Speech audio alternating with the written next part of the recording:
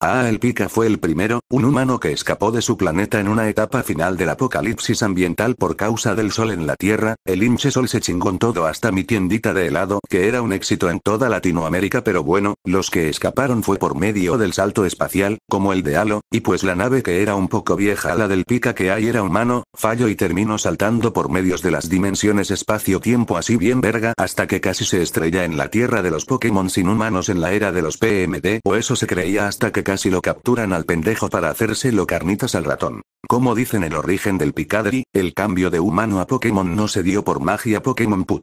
Digo digo se cambió de apariencia por el cambio molecular tras el salto dimensional, así de bruscos la realidad reparo el error. Después sigue el segundo que es el cúbito pero como ese está todo baboso y pendejo mejor lo dejamos para después.